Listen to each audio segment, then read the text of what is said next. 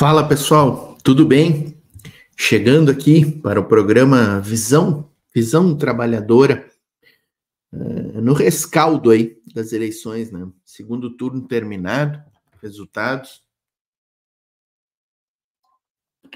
São Paulo e Porto Alegre, com seus resultados, uh, nem sei como adjetivar, né, pessoal? Nem sei como adjetivar.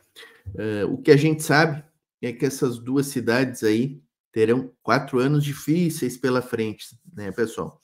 Quatro anos de entrega das coisas públicas, de muitas negociatas, de interesses do mercado imobiliário aqui em Porto Alegre, extremamente favorecidos, né? Os apoiadores e financiadores do Sebastião Melo, a gente trouxe essa questão aqui num vídeo do Ian Neves, né, pessoal? São Paulo, também muitas negociatas, as tais parcerias que eles falam, que na realidade é entrega de, de patrimônios e serviços públicos, né? O Melo declarou hoje que provavelmente já deixou indicado que as escolas da rede municipal serão ali um verdadeiro balcão de negócio, né? Vai terceirizar e parceirizar, é o novo termo bonito que eles usam agora, né? Que é, na realidade, entregar entregar a, a administração das escolas para a iniciativa privada, os amigos, né? Os amiguchos, né, velho? É isso.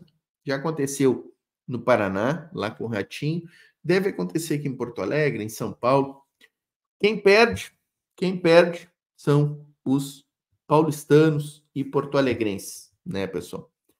Uh, Boulos e Maria do Rosário fizeram excelentes falas. A Maria do Rosário fez um belíssimo discurso que eu pretendo abordar aqui até em, uma outra oportunidade aí. Nesse vídeo hoje, pessoal, vou trazer uh, algumas repercussões aí, algumas manifestações, né? Vou trazer aqui o Rodrigo Viana, a Heloísa Vilela, né? Comentando, a Heloísa Vilela dizendo que a esquerda precisa apresentar as suas pautas, né? E não ficar tentando se aproximar do centro. Eu creio que é isso. Eu não vi o vídeo ainda, mas já estou trazendo aqui porque Rodrigo Viana e Heloísa Vilela gosto muito de ouvi-los, mesmo que às vezes possa não concordar. A Heloísa Vilela eu concordo com 100%, né, pessoal? Não tenho divergências com a Heloísa Vilela. Incrível, incrível. Que mulher, que mulher. Mas assim, e quero iniciar com um grande, grande fato do dia, né, pessoal? Do, do domingo de, ele, de eleição de segundo turno. O crime eleitoral praticado por Tarciso Freitas, governador de São Paulo. Eu vou começar com isso e nós vamos terminar aqui com a vitória do Evandro Leitão em Fortaleza, né? Para alívio do, do, do povo do Ceará lá de Fortaleza. PT venceu em Fortaleza, venceu em Camaçari, venceu aqui em Pelotas, né, pessoal? Assim, as três que eu destaco mais, tem outras aí, mas essas são as, as três que eu, que eu tive tempo de conferir, né, pessoal? Vamos começar então com este episódio aqui, ó, pessoal. Este episódio do Tarcísio Freitas. Vamos lá. Aconteceu de novo. Candidato do PSOL à Prefeitura de São Paulo voltou a ser vítima de fake news grave cometida por adversários na véspera e no dia da eleição. Logo Galera, chega deixando a curtida, tá? Isso aqui é importante para nós, ó. Diga curtida e deixe no chat a cidade que estão assistindo.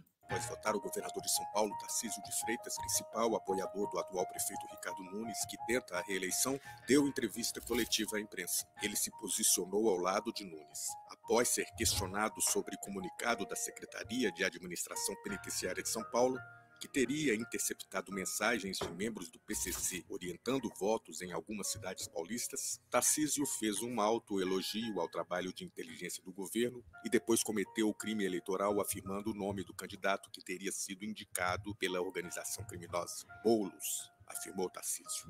No primeiro turno, o mesmo Boulos havia sido vítima de uma fake news comprovada do candidato derrotado Pablo Massal, que divulgou na véspera do pleito um laudo falso sobre o político do PSOL. A campanha de Guilherme Boulos já ingressou com ação na Justiça Eleitoral pedindo a cassação do registro da candidatura de Ricardo Nunes. Trata-se de gravíssima tentativa de influenciar no resultado do pleito no dia da eleição de uma forma jamais vista no estado de São Paulo, diz a ação. O cientista político Aldo. É, já vamos adiantar aqui, né, pessoal? É, pedido pro forma, né? Pro forma para criar né, o, o incidente, né, o pedido de cassação da candidatura mas a gente sabe como é que funciona a justiça brasileira, né, pessoal? A gente sabe muito bem. Isso aí, com certeza, não tem a mínima chance de, de existir uma cassação, embora seja um crime eleitoral da mais alta gravidade. Da mais alta gravidade. Mas é preciso que a gente tenha os pés no chão aqui, pessoal. É preciso, especialmente agora que passou o momento eleitoral, é preciso que a gente fale clarissimamente aqui com o nosso público, que é um público de esquerda, que é um público progressista.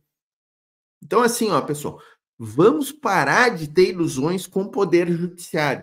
A nossa luta é política, a nossa luta é nas ruas, a nossa luta é classe trabalhadora organizada. Tá, pessoal? Judicializar uma questão, vamos ter bem claro que é fato político para nos levar para as ruas, para nos organizar. Porque, assim, alguém aqui acredita que a candidatura do Ricardo Nunes será cassada como deveria ser, como deveria ser se a lei brasileira fosse cumprida pelo judiciário, pela justiça eleitoral? Deixo para vocês responderem. Quem é que acredita que essa candidatura será cassada e que o Ricardo Nunes não será, né, prefeito de São Paulo? Digam aqui no chat, pessoal. Aldo Fornazieri criticou duramente a postura do governador paulista. Perante a Justiça Eleitoral, Tarcísio I terá que mostrar prova. Além disso, é preciso lembrar que ele está se valendo de informação de Estado para interferir nas eleições. Tarcísio deveria ser preso. Boulos precisa dizer que não reconhecerá o resultado e que vai pedir a anulação das eleições. Tem que denunciar como crime eleitoral. Pedir a prisão em flagrante do governador, disse o doutor em ciência política pela USP. No UOL, o jurista Walter Maierovitch também falou em prisão do governador paulista. Deveria ser preso em flagrante, como é presa uma pessoa que faz boca de urna na porta da sessão eleitoral, disse o jurista. O governador se colocou num papel de fiscal eleitoral. Não pode isso e é abuso político vindo de um chefe de poder executivo fazendo propaganda camuflada. Guilherme Boulos gravou. Tá, é, tá aí, né, pessoal? É, é isso, né? O Walter Maierovitch colocando a coisa em pratos limpos, que é o que prevê a lei. Que é o que prevê a lei. A lei não prevê prisão de quem está fazendo boca de urna ali, na, né, na porta da sessão, distribuindo uh, folhetinhos, fazendo campanha, né? O que, que o Tarcísio Freitas fez com este crime eleitoral que ele cometeu? Que extrapola o crime eleitoral, porque muito bem lembrado ali pelo Aldo Fornazieri, né? Ele, ele, ele utilizou informações das quais ele tinha como governador de forma privilegiada numa campanha eleitoral. E ele sim fez ali uma boca de urna, é crime eleitoral, gente, o que ele fez ali. Crime. Então tem, tem toda a razão. O, o Walter Maierovitch, grande jurista, né? Grande jurista. Mas vou insistir que não, judicialmente não vai dar em nada isso aqui. A justiça não vai dar em nada. Inclusive, aí que estão falando da ineligibilidade do Tarcísio Freitas, né? Que é hipótese de ineligibilidade, o que ele fez hoje. É hipótese, né? Está tentando contra a democracia na função de governador do estado ele não poderia fazer, né? Mas não vamos ter ilusões com o poder judiciário. Eu vou insistir aqui, pessoal. O vídeo comentando o caso. Achei que hoje ao menos fosse ser um dia mais tranquilo, disse Bolos, que classificou o ato de Darciso como o laudo falso do segundo turno. Ser um dia mais tranquilo em relação às mentiras que os nossos adversários fizeram durante toda a campanha. Mas eu recebi a notícia agora há pouco de algo que, assim, peru inacreditável. Né? O governador do estado de São Paulo, governador Tarcísio, acabou de divulgar, ao lado do candidato dele, acabou de fazer uma declaração extremamente grave, sem nenhum tipo de prova, dizendo que o PCC teria determinado voto em mim. Gente, olha o nível. Eu acho que as pesquisas que devem estar fazendo, monitorando os colégios eleitorais, devem estar demonstrando a onda de mudança, a onda de virada acontecendo na cidade e partiram para o desespero absoluto. É, é, o laudo falso do segundo turno e no dia da eleição e usando a máquina na boca do governador do estado. É uma coisa inacreditável o que está acontecendo nesse momento em São Paulo para tentar influenciar as eleições, para mais uma vez, como fizeram a campanha toda, tentar botar medo nas pessoas. Eu tô agora, acionei minha equipe jurídico, nós vamos entrar com todas as medidas cabíveis contra é, o governador e quem propagou essa mentira. Né? Ele está dizendo que aconteceu, mostre. Era a mesma coisa do laudo. Eu fiquei o primeiro turno inteiro tendo que responder sobre um ataque absurdo de uso de droga. Há dois dias da eleição, veio um laudo que era falso. Agora, no dia da eleição, preocupado com os resultados, o governador do estado faz uma declaração irresponsável, mentirosa, como essa, ao lado do seu candidato, que é o meu adversário. Gente, olha a gravidade e o nível que a gente está chegando.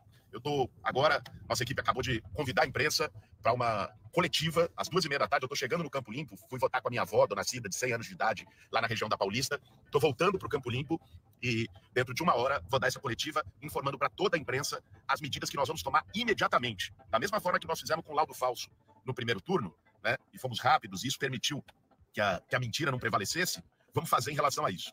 Assim, passaram de qualquer limite. É o desespero, né, porque sabem é, o que está em jogo nessa eleição.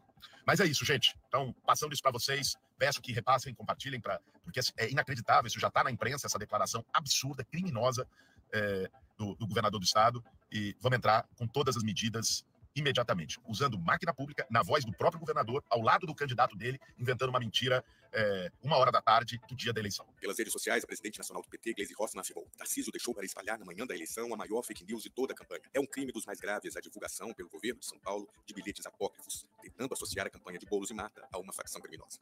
Tarcísio de Freitas costuma ser apresentado por alguns como um bolsonarista diferente. É moderado, afirma, mas como lembra a fábula do escorpião e do sapo, é da natureza do bolsonarista cometer delitos eleitorais e divulgar fake news. Que Tarcísio seja responsabilizado judicialmente é o que se espera de uma democracia vigorosa. A conferir. Tá aí, tá aí, pessoal. Uh... Imagina, vamos fazer um exercício de reflexão aqui, né, pessoal? Imagina o Lula, né, construindo uma fake news, utilizando a Polícia Federal com, com falsas denúncias em relação a um candidato adversário do PT.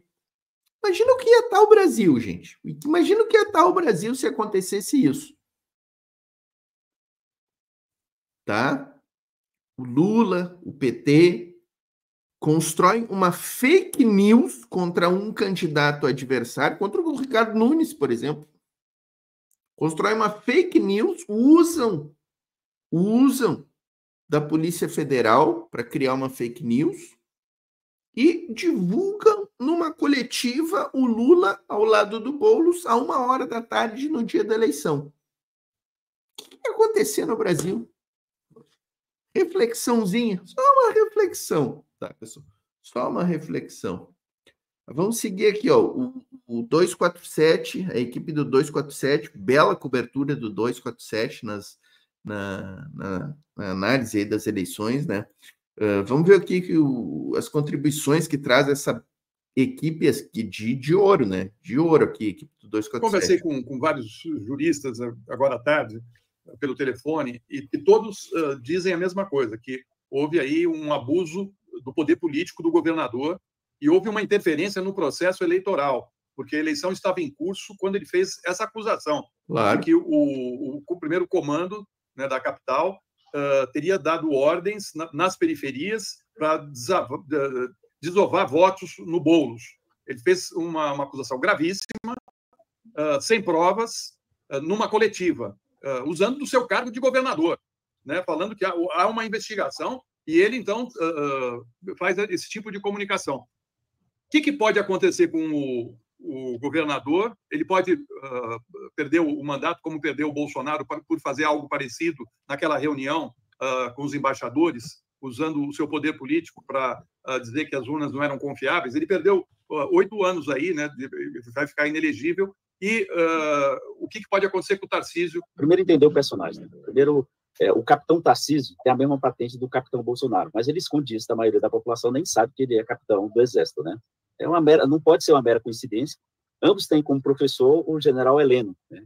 de grandes feitos aí, principalmente lá na, no Haiti. Então, é, essa estirpe aí que não, que não, que não tem nenhum apreço pela democracia, se vocês é, é, a gente rememorar um pouco, o Tarcísio aprontou, uma, criou uma farsa lá na, lá na periferia de São Paulo, em Paraisópolis, né? um pretenso atentado que ele teria sofrido na eleição para governador. É, é, é, fato recente. Aquilo nunca foi esclarecido, né? Nunca teve. Um agente da ABIN, né, do, do, general Heleno, é que estava envolvido naquele fato. Então, não é. É, o que, que eu falo do judiciário, né? É, é, por isso que eu digo assim, ó, pessoal, e vou insistir. Agora, nos próximos dois anos, daqui a dois anos, a gente tem uma outra eleição importante no Brasil. Nos próximos dois anos, eu vou bater muito firme isso aqui no canal, gente, porque a gente precisa se conscientizar disso. Ó. Não tenhamos ilusões com o poder judiciário, com as instituições brasileiras, tá? A esquerda precisa deixar isso bem claro para a população, tá? As instituições, o poder judiciário, elas não atuam para defender a classe trabalhadora e aí, muito menos a esquerda. Ah, mas o Xandão, Portinho, está muito bem eh, foi muito bem nas eleições, o Xandão tá, tá dando um jeito, tá enfrentando o Elon Musk. Tá? Gente, isso aí tudo, tudo são circunstâncias, tá? São circunstâncias. O Xandão não é herói de coisa nenhuma para nós. Quem acha que o Xandão é um grande herói da esquerda está muito equivocado, tá? Isso aqui que o Arnóbio acaba de lembrar. O Tarcísio Freitas simulou um atentado durante a campanha que foi completamente desmascarado. Completamente desmascarado, um fato que deveria ter colocado os responsáveis por esse fato na cadeia, na cadeia. E, e, e, a campanha do senhor Tarcísio deveria ter sido caçada, como agora do Nunes deveria ser caçada pelas leis, tá, pessoal? Não é, é isso que eu quero dizer. Ó. Leis indicam nesse sentido claramente, claramente. Mas, obviamente, o judiciário não vai tomar essas decisões aí, porque o judiciário está aí para defender o sistema, pessoal. Está aí para defender isso aí que está acontecendo tudo, sabe?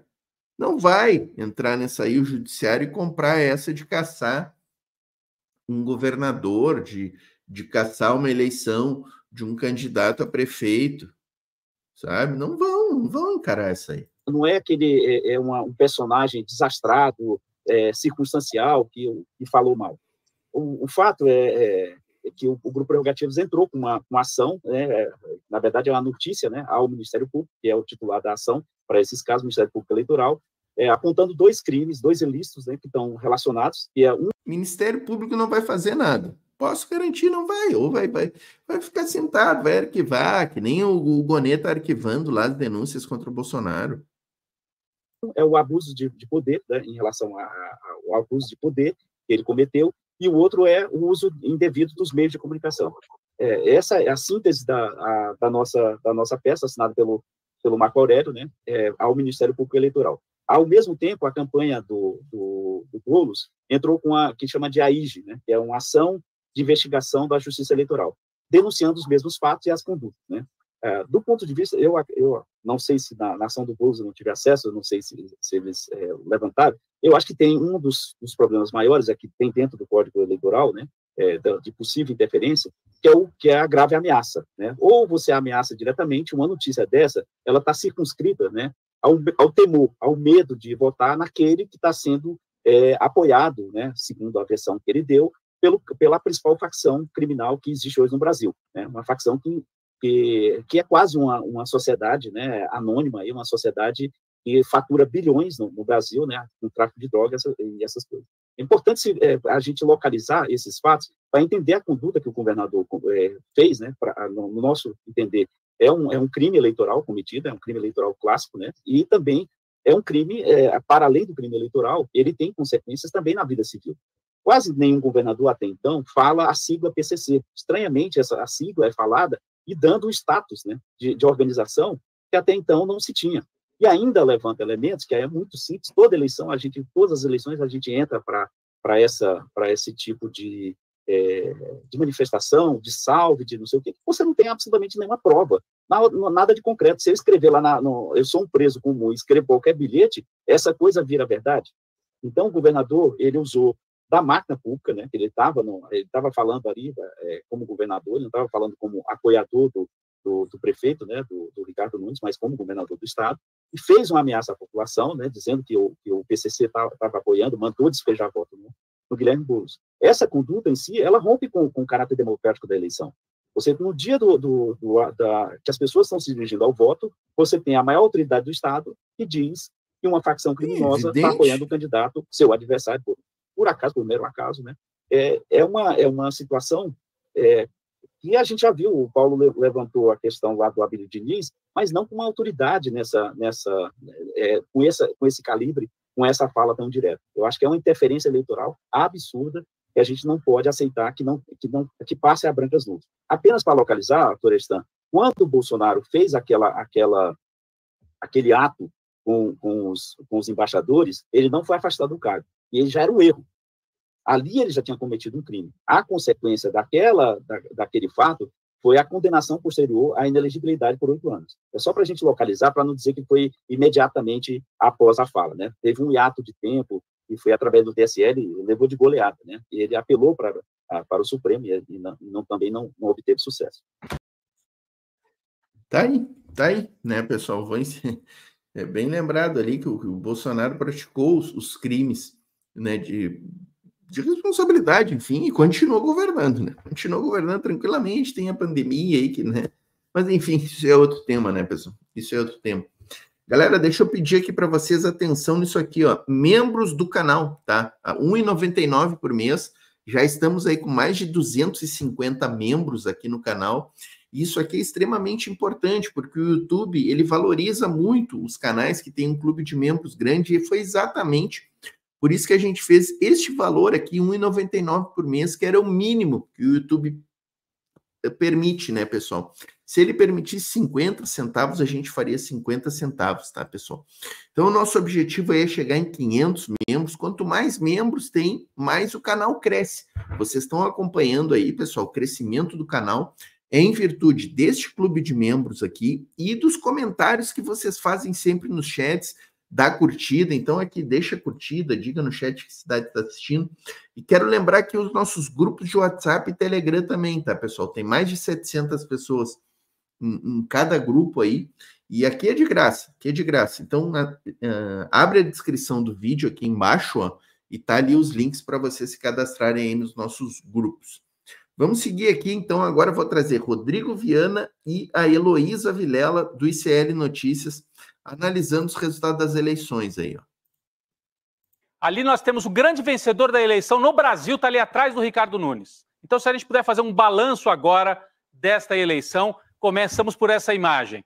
Ricardo Nunes, quem segura a mão do Ricardo Nunes, como disse a Gabriela Varela, é o Tarcísio de Freitas. Na hora em que a campanha estava fazendo água e o Marçal ameaçou ultrapassar, Tarcísio segurou. Então. É interessante, né? O que ele falou aí do Kassab, ó. Este senhor que está aí sorrindo, né? O... Ele é secretário do Tarcísio Freitas, ele está no palanque com o Ricardo Nunes e certamente o PSD estará povoando ali secretarias do, da, da, Prefeitura de São Paulo. Uh, o PSD foi o partido que mais elegeu govern, uh, prefeitos, né? Foi quase mil prefeitos, eu acho, né? Mais de mil até, né? Uh, hoje elegeu o, o Fuad, né? Lá em Belo Horizonte. Uh, e o Kassab também tem ministros no governo Lula, né? Então, assim, o Kassab hoje é o dono do Brasil. É o dono do Brasil, este senhor aí. Ele manda na política brasileira. Também estava no governo Bolsonaro, né? O partido dele. Então, assim, é, é o centrão em pessoa, o senhor Kassab. Deixa a curtida aí, galera, e diga no chat de que cidade estão assistindo, que isso aqui é importante para nós. Vencedores desta eleição, começando por São Paulo. Ricardo Nunes, claro, e Tarcísio de Freitas, que é o homem mais forte hoje na extrema-direita. Ele é forte porque ganhou na urna em São Paulo e é forte porque tem o apoio do grande capital é, em todo o Brasil. Podemos então voltar aqui, até porque a gente está sem o som de lá. Isso mesmo, obrigado, gente. Então, tentando fazer um balanço agora nacional, o Tarciso de Freitas sai como vitorioso é, em São Paulo e é o grande nome do bolsonarismo para herdar os votos do Bolsonaro. Só não sabemos, né, Chico, se em 2026 ou em 2030. Isso ainda vai depender de como é que o Lula avança com o seu governo. Pode ser que o Tarcísio se guarde para 2030.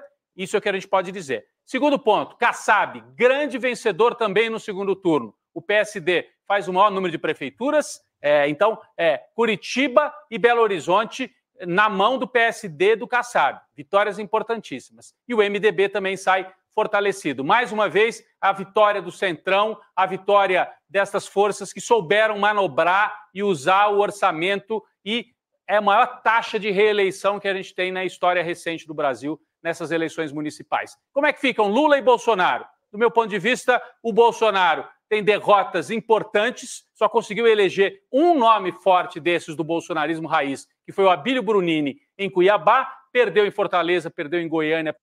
Aí, Abílio Brunini, hein? Nome forte do bolsonarismo. Abílio Brunini, gente. O que eu vou dizer? Gente, assim, Cuiabá está nas mãos de Abílio Brunini, o cara que, que se notabilizou por chegar na Câmara dos Deputados e ficar colocando o, celular uh, na cara dos adversários e patifando CPIs, patifando sessões do Congresso. Esse é o, é o grande vitorioso do bolsonarismo raiz. Então, e assim, né?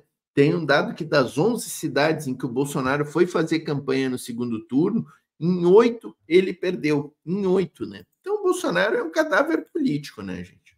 Perdeu em Curitiba e se ausenta de São Paulo. Vejam que ele não está no palanque para comemorar em São Paulo, porque ele sabe que a vitória de São Paulo não é dele, é do Tarcísio muito mais do que do Bolsonaro. Do lado do Lula e da frente de centro-esquerda, não tem tanta coisa para comemorar. Melhorou um pouquinho em relação a 2020. Conquista uma prefeitura e Fortaleza, o Ceará se tornam assim a grande é, é, a grande base do PT no Nordeste. Já tinha força na Bahia, já tem força em outros estados, governa o Rio Grande do Norte, o Piauí e agora governa o Ceará e governa Fortaleza, como o Chico disse, que se consolida como a capital talvez mais importante economicamente e politicamente no Nordeste. E só que o Lula tem muitas dificuldades e o PT e a esquerda no Sudeste e no Sul. São Paulo, o PT praticamente some do mapa político nas eleições municipais em São Paulo, com pouquíssimas vitórias. Então, acho que esse é um balanço provisório que a gente pode fazer,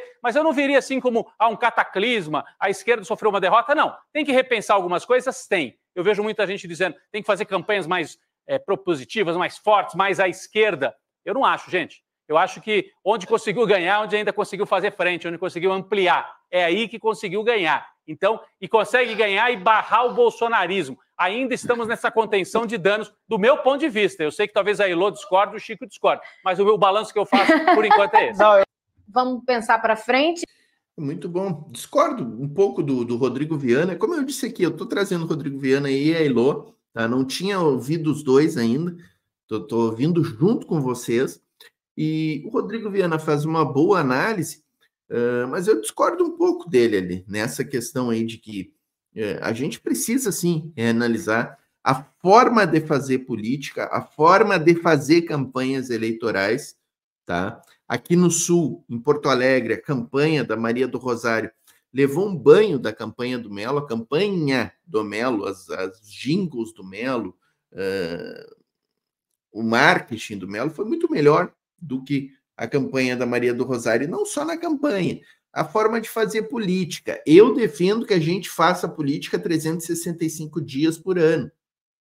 Eu defendo que amanhã os vereadores eleitos, por exemplo, aqui em Porto Alegre, isso pode se repetir em São Paulo, em todas as outras grandes capitais e nas pequenas cidades também, os vereadores eleitos deveriam estar amanhã em locais de grande circulação das grandes cidades brasileiras. Aqui em Porto Alegre, por exemplo, poderiam estar lá no Largo Glênio Pérez, realizando um grande comício popular do campo popular. Não vamos mais esperar o, o, o período de campanha eleitoral para estar junto ao povo. Nós precisamos estar juntos e conectados com o povo 365 dias do ano. Não só nos períodos de campanha eleitoral. Heloísa Vilela, vamos ouvir aqui. Então, vamos olhar nomes importantes que saíram maiores do que entraram nesse processo eleitoral. E eu destacaria a Natália Bonavides, é, lá em Natal, e o próprio Guilherme Boulos, que acho que sai maior do que entrou, com o reconhecimento do nome dele maior no país do que era quando ele começou essa campanha. Acho, ao contrário de vocês, que não adianta ganhar a eleição se a gente não propõe um mundo diferente desse que a gente está vendo cada vez mais claro. para a direita. E quanto mais a esquerda assume as bandeiras do centro, mais para a direita vai toda claro. a política brasileira, e isso está acontecendo no mundo inteiro. Então, eu acho que não é preciso. Que mulher, gente! Que mulher! Eu não consigo discordar dessa mulher. Que loucura! Grande Heloísa Vilela. Radicalizar, é preciso ser esquerda, é preciso apresentar as propostas da esquerda. Boulos acabou de falar ali para a campanha dele: a gente tem que ir mais para a periferia, a gente tem que mobilizar a população. É esse o trabalho que eu acho que tem que ser feito cada vez mais se a esquerda quiser uh, propor e uh, provocar mudanças de fato nesse país que está precisando de forma urgente a combater essa desigualdade abissal na qual a gente está mergulhado.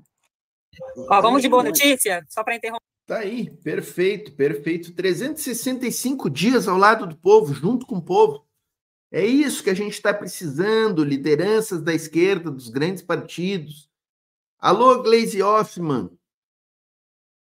Alô, lideranças do PSOL. Alô, lideranças do PCdoB. Que tal a gente começar mobilizando os nossos vereadores que estão eleitos, os nossos deputados estaduais, e, e seguir o exemplo do Glauber Braga, que vai no Rio de Janeiro todas as segundas-feiras para o Largo da Carioca, conversar com o povo que está ali naquele local de grande aglomeração de trabalhadores e trabalhadoras indo e vindo para o seu trabalho. Que tal? Que tal reunir vereadores e deputados estaduais e, e, e iniciar, quem sabe, nas grandes capitais, já amanhã, na segunda-feira. Na próxima segunda, quem sabe? Está na hora da esquerda voltar, estar ao lado do povo, não só no momento da campanha, porque senão fica chato. Tu chegar ali no, na campanha, que agora é 45 dias de campanha, né, antes das eleições, tu chegar ali na semana, na véspera da eleição, tu chega com um santinho lá na comunidade e acha que a pessoa vai votar. Ninguém vota assim, gente. O pessoal vota naquelas pessoas que eles sabem que estão do lado deles 365 dias por ano. E importantíssimo isso que a Heloísa Vilela aqui tem, a esquerda tem que voltar a fazer discurso de esquerda sabe? Vamos parar de defender Estado democrático de direito, defender o poder judiciário. Ah, porque a democracia. Não, a esquerda quer comida no prato, gente. A esquerda tem que defender comida no prato, aumento de salário para os trabalhadores, passagem de ônibus barata, saúde, postos de saúde equipados. É isso que a esquerda tem que defender tem que defender respeito para a classe trabalhadora, carteira assinada para o trabalhador e não empreendedorismo. A esquerda tem que voltar a ser esquerda. Vamos parar com essa história de querer agradar centro. Nós não somos centro, nós somos esquerda. 247, de novo aqui, ó, pessoal, trazendo o que talvez tenha sido a melhor notícia do dia aí para nós da esquerda, né? Uma vitória com o Evandro Leitão lá em Fortaleza. Vamos ver aqui é, para dar boa notícia, né? Fortaleza, Evandro Leitão, eleito com 50,37% é, dos votos em Fortaleza, derrotando André Fernandes com 49,63% dos votos. Então, dados aqui da Agência Brasil, vinculados ao TSE, da apuração, com 99,60% dos votos. Evandro Leitão, eleito é, prefeito de Fortaleza, derrotando o puro suco do bolsonarismo, que é o André Fernandes. Uma informação. Galera, chega deixando a curtida aqui, ó. Deixa a curtida e diga no chat de que cidades estão falando. Desculpa ser chato, mas isso aqui é importantíssimo para o canal, tá, pessoal? Que em Niterói, o candidato do Bolsonaro, o Jordi, perdeu. Quem ganhou, o Rodrigo Neves, tá? se elegeu, tá eleito. Eu Ufa. acho o resultado muito importante. E aí, Esse Jordi é perigosíssimo. Mas o grande derrotado é o Bolsonaro, viu? Porque Sim. tinha uma estrutura muito grande. Então, você tem dessa eleição assim emerge também o, conceito de que se você se ligava ao Bolsonaro, a sua chance diminui. A força é o antipetismo. Isso existe por conta de uma campanha que houve. O Bolsonaro é cadáver político, né? Eu estou dizendo sempre aqui. Isso é uma manipulação. Isso está começando a reverter agora, com a eleição, por exemplo, em Fortaleza e outras eleições que nós estamos vendo onde o PT não era o líder, mas estava é, é, apoiando determinadas chapas. O candidato Bolsonaro perdeu em Belo Horizonte também. Então, tem várias situações aí que a gente tem que levar em consideração, que eu acho que está havendo, começa a haver uma reversão. Por isso é que eu sempre digo, apesar dos resultados é, de você ver que o PT é governo federal, e, e, e, eu entendo que o governo federal não elege mesmo, porque elege é o partido, é a proposta que você tem. E a proposta, eu entendo, também concordo com isso, mas é, o, o, PT, na verdade, o que ele vem sofrendo até hoje é o antipetismo, é o resultado dessa campanha, que é uma campanha sórdida e, mais uma vez, mostrou como é que age quem tem esse poder. O poder, que eu digo, o poder político, o abuso do poder político, que é o que o Tarcísio fez. Você imagina o Lula, isso não existe, ele usando um dado da Polícia Federal no dia da eleição, um dado sem comprovação, que eu falei? que seja, para dar uma entrevista no ato do voto, para divulgar algo negativo no candidato adversário do, do PT. Eu nunca vi isso. Isso é um abuso sem Gente, assim, eu juro que eu não tinha visto esse vídeo ainda, tá? O Joaquim Carvalho está fazendo a reflexão exatamente a que eu falei quando a gente abordou lá esse vídeo do essa questão do Tarcísio Freitas. Imagina o Lula utilizando a Polícia Federal, criando uma mentira contra o candidato adversário e uh, ao lado dele, ao lado do Boulos, digamos, divulgando uma mentira com a chancela da Polícia Federal sobre o Ricardo Nunes, por exemplo. Imagina isso. Como é que é estar o Brasil agora, gente?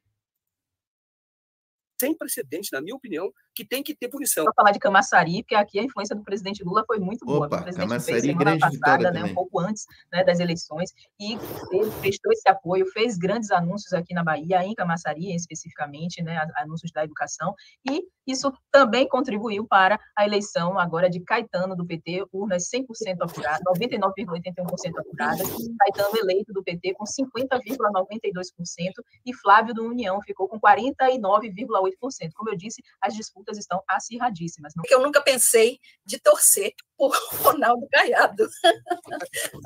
nunca imaginei que eu fosse torcer por Ronaldo Caiado. Mas eu acho muito, muito significativa essa vitória do candidato Mabel, porque o Bolsonaro foi pessoalmente para lá e cantou vitória, e é, sapateou né, na, nas declarações do Ronaldo Caiado e estava muito confiante, mesmo o candidato dele tendo tido uma atitude desonesta de não apresentar um diploma, de falsificar um diploma, ele passou por cima disso, foi para lá para fazer um, acirrar picuinha com o Ronaldo Caiado, que está saindo candidato para 2026. Também lembrar que essa vitória né, do, do, do candidato do PT em Fortaleza é uma pá de cal para o Ciro Gomes e para o grupo dele, né, o, o, Roberto Cláudio e o, o, Ciro, que entraram nessa canoa furada de abraçar a extrema-direita. Foram derrotados, né, que fiquem juntos no pântano, né, porque uh, foi terrível o que o Ciro Gomes fez, uh, vergonhoso, porque ele nem foi para Paris.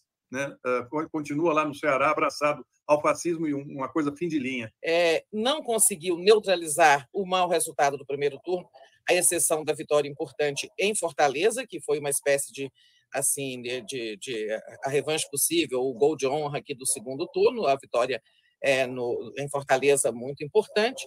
Mais uma vez, tal como no primeiro turno, é, as as direitas mais moderadas, direita caçabista, direita MDBista, em suma, esse bloco Entrou. de partidos muito pragmáticos, que não são extremistas, algo, boa parte deles que integra a base de sustentação do governo Lula, né?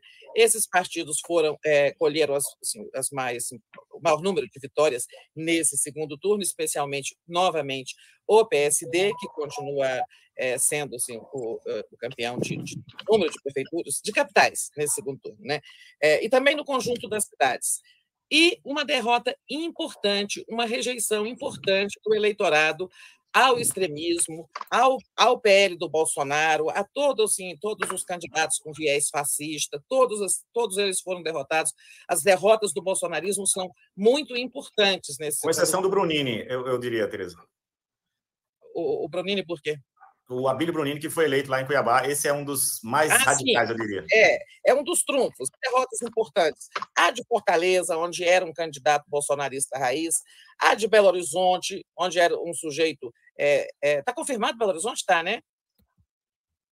Alguém me responde? Sabe? Sim, sim, tá, tá, né? Fuad, Fuad. Fuad, está confirmado o Fuad do PSD derrotando lá o Engler, que é um bolsonarista bem, bem, bem, bem, assim, é, da, como dizer, aquele, aquele ranço obscurantista, né? Aquele, a campanha dele foi marcada por coisas bem feias, como uma tentativa de é, criar uma fake news ali para o adversário, de, de, pedofilia a partir de um livro de ficção e tal. Curitiba, outra derrota do Bolsonaro, importante, a candidata muito raiz, né? Muito é, bolsonarista de quatro costados, perdeu também em João Pessoa com o Queiroga, que foi, seu, foi ministro do Bolsonaro, perdeu em Manaus com o capitão Alberto, porque o Bolsonaro fez muita, pó, é, muita força, e perdeu em Goiânia, onde o Bolsonaro é, foi hoje, ele foi para lá hoje, né, nessa disputa que acabou criando com o candidato do governador é, Caiado, né, com a vitória lá do, do Sandro Mabel.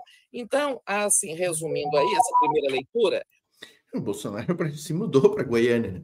e comprou uma briga aí com o Caiado. Eu quero, quero torço para a briga, né? Torço para a briga nessa aí. Importante dizer aqui: Porto Alegre e São Paulo, embora tenham ganho candidatos da direita, foram duas derrotas do Bolsonaro. Por quê? Porque o Sebastião Melo e o Ricardo Nunes se esconderam do Bolsonaro durante a campanha, a ponto de, nos debates, a Maria do Rosário e o Boulos cobrarem incisivamente uh, essa relação entre os candidatos e Bolsonaro, e tanto o Ricardo Nunes quanto o Sebastião Melo fugiram, fugiram da identificação com Jair Bolsonaro.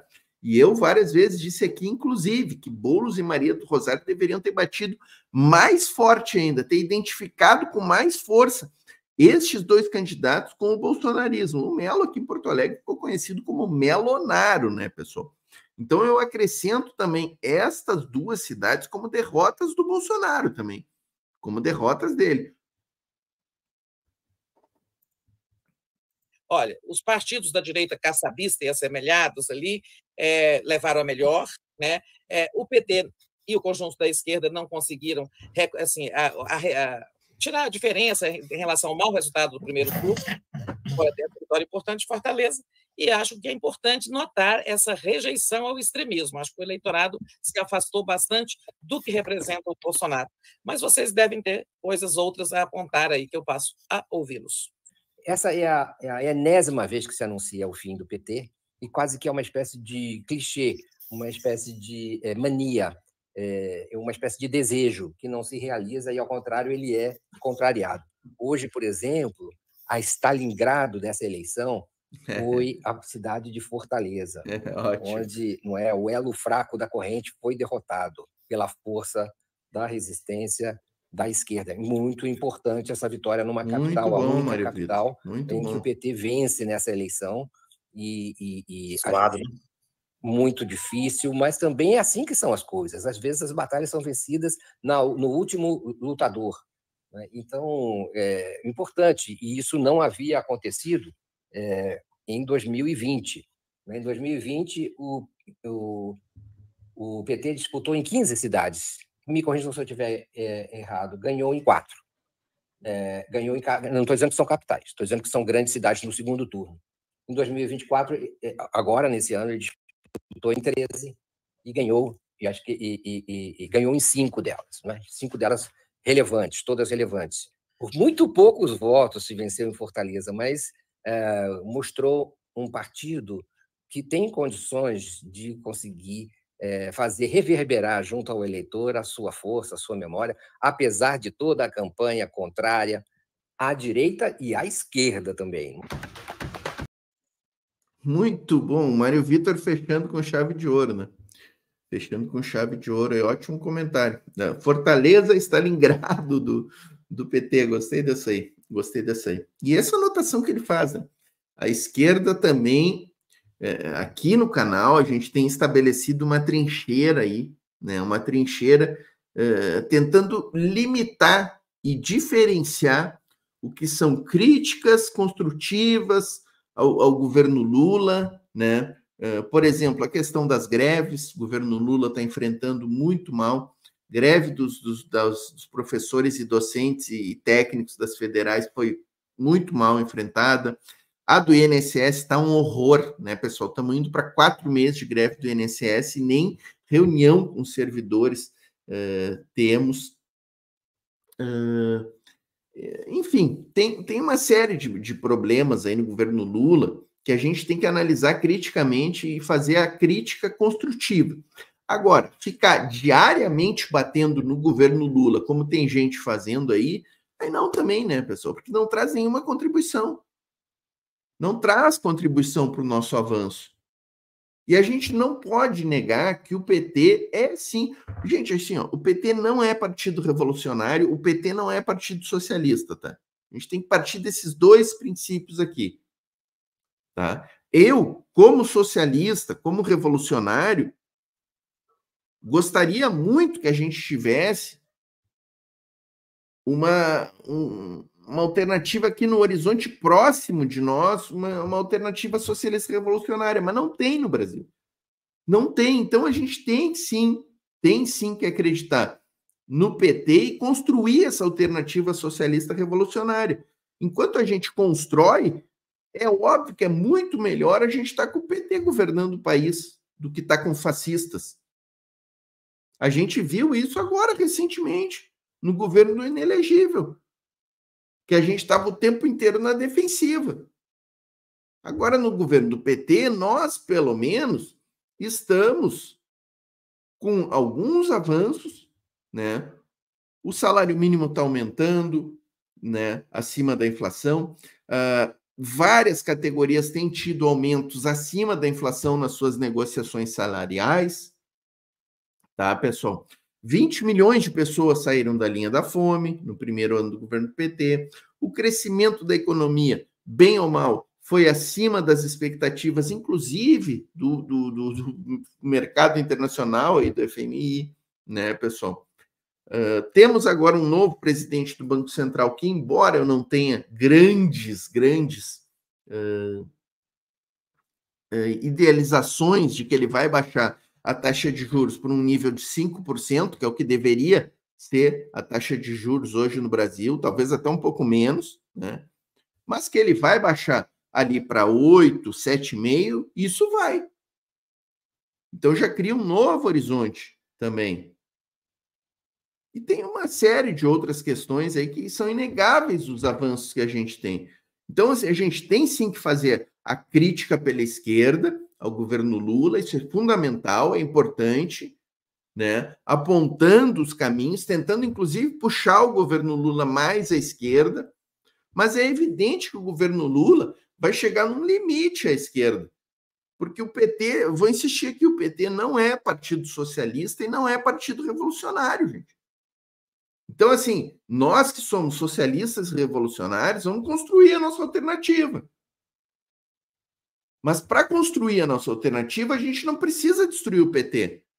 A gente tem que destruir a extrema-direita, os fascistas. Esses a gente tem que bater todo dia. E o PT tem que ser um aliado nosso nessa construção, quem sabe, do. Nós temos que superar o PT. Nós temos que dar o um salto de qualidade no PT, não destruir o PT. Isso me parece mais do que evidente, tá, pessoal? Mas assim, já me alonguei demais aqui, já me alonguei demais, já entrei aqui numa teorização né, sobre a questão aí da, da, do papel da esquerda, mas acho que é importante, né? Acho que é importante a gente fomentar esses debates aí. Gente, assim, ó, quem chegou até o final é porque gostou, é sinal de que gostou. Então deixa curtida quem não deixou ainda, né? E deixa aqui um comentáriozinho no chat para nós que é muito importante. Não sabe o que vai comentar? Diga a cidade que está assistindo, muito importante. Outra coisa importante, ó, clube de membros do nosso canal, R$ 1,99 por mês, tá, pessoal? Já temos mais de 250 membros. Isso aqui é fundamental para o YouTube respeitar cada vez mais o nosso canal, divulgar mais os nossos vídeos. O canal está crescendo muito, tá, pessoal? Por vários fatores, mas esses 250 membros que estão cadastrados aqui na nossa comunidade, as curtidas que vocês vêm deixando e os comentários aqui na caixa de comentários. Esses são os fatores mais importantes para os nossos vídeos irem terem um alcance maior, tá, pessoal? Tem o Pix do canal aqui, tá? A chave aqui do, do a nossa chave Pix e o QR Code ficou aqui na tela. Para quem não viu ainda, aqui o QR Code ficou durante todo o programa. E para fechar aqui, ó, pessoal, grupos de WhatsApp e Telegram. Esses aqui são gratuitos, tem mais de 700 pessoas em cada um desses grupos.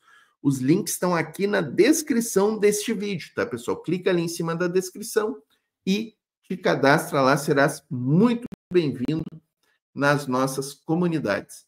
Certo, pessoal? Valeu? Boa semana para todo mundo aí. Paz entre nós, guerra aos senhores.